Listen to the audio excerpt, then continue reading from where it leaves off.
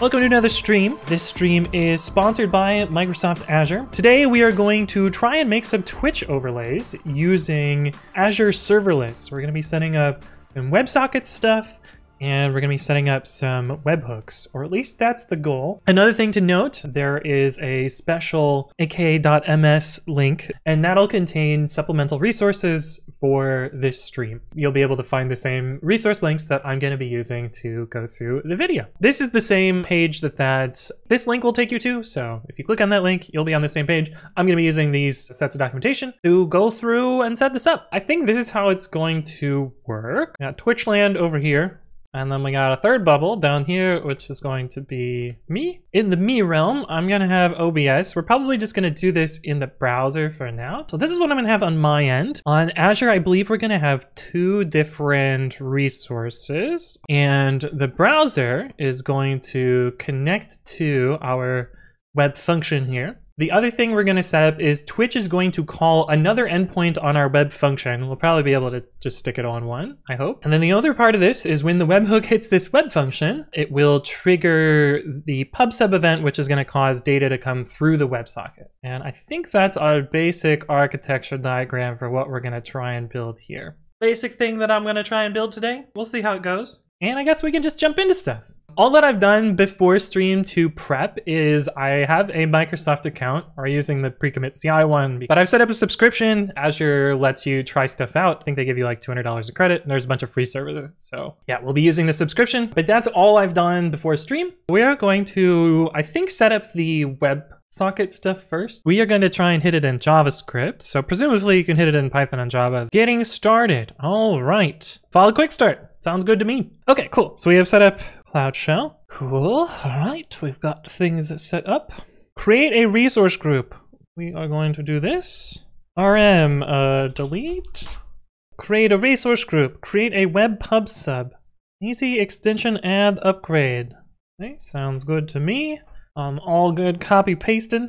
We have added an extension. Uh, I'm pretty sure the extension is broken, but I'll show you how to fix that in a second. Do this, and this is gonna run it. manylinux, hey, there we go. Hey, we have an editor. Okay, uh, your unique resource names. All right, we have created the web pub sub. Okay, what else do we need to note? Resource name. Okay, we we supplied that. Try running this now. Yeah, okay. so this is the thing that was broken. This is broken. Uh, we can actually work around this. This is a bug in an old version of WebSockets, which WebPubSub is currently pinned to. The workaround is to run this command. Uh, so now I should be able to run this client start command. Okay, cool. We have connected. Okay, replied with something. Cool. And then what? Send a group and to send. But I think this is all going to a WebSocket, so we're pretty close to having at least at least this first part of our diagram working.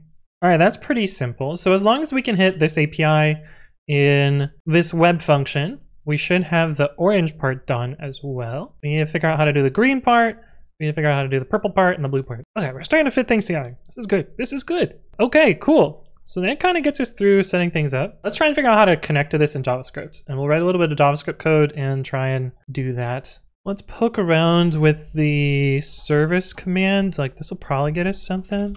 Service connection, that sounds useful. All right, this has a whole bunch of code that we're not going to need. So I am going to delete all that and we'll just try and get like basic hello world happening from this. So we're going to change the WebSocket connection here. Pip install Azure messaging web sub service. Okay, this will hopefully be able to get us the URL. And we'll be able to use this in our serverless function. So later we'll install this inside here. We will fill this out from that other command that we had. Show connection string, which I'm pretty sure this is a credential, but uh, that's why we're using a separate account. URL. Okay, this looks promising.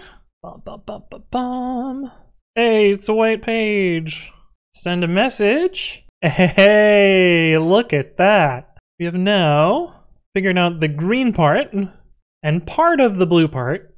That's pretty cool. It's working. And next we're gonna try and set up our web function. Cool. All right, let's set up the Azure function next. So this little circle here. Uh, we're probably gonna do the command line version. Yeah. Func init uh, Twitch webhook dash dash Python. do. All right, let's name with underscores this time so we get a valid Python module namespace.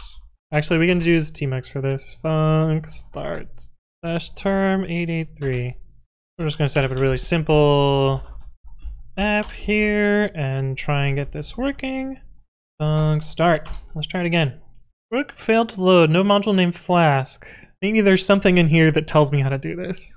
7071. Yo, let's go! Alright, we got it. We can request from Slash now. So we have it working locally with Flask, so we can do, can make whatever endpoint we want now. So we created storage count. Uh, what we're we doing next? Alright, let's uh, do the deploy, I guess, next. Func Azure Function App Publish. Twitch webhook? It's installing stuff. Deployment successful. That's what we want to see. Hey, let's go. Okay, all right. That's good to see. We have this thing done. We know how to do this. We're not doing it yet. We know how to make the URL for this. We're not doing that yet. We know how to create this. So let's do the blue and green and orange lines, I guess.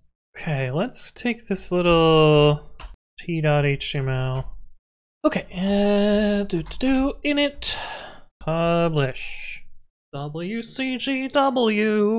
What could go wrong? Connected. All right, cool. Send message. curl dash x post. But look at this, we got data. Yo, all that's left is the Twitch stuff.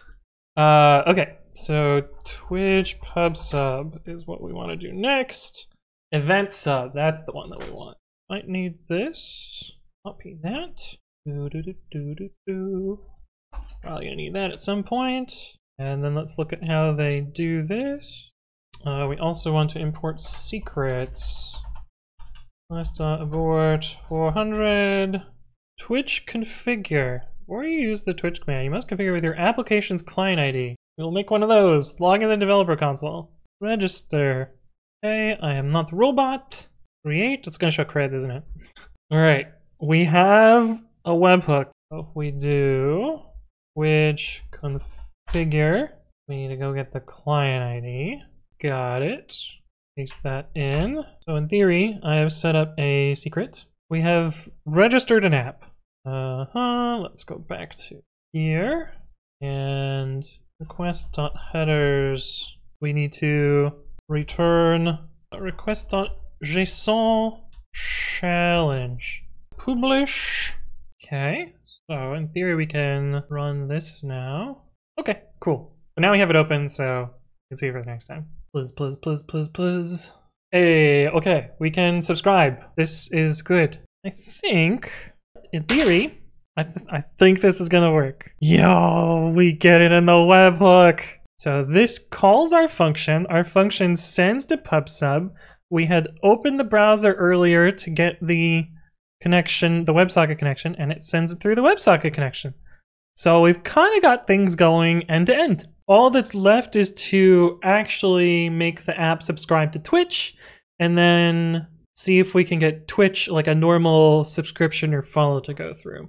Okay, so let's do the last part of this. We're gonna run this and hopefully it hook things up. I guess we can watch logs and in theory we should get a request here. Yo, it works! I mean, the whole diagram works. We've got everything going end to end.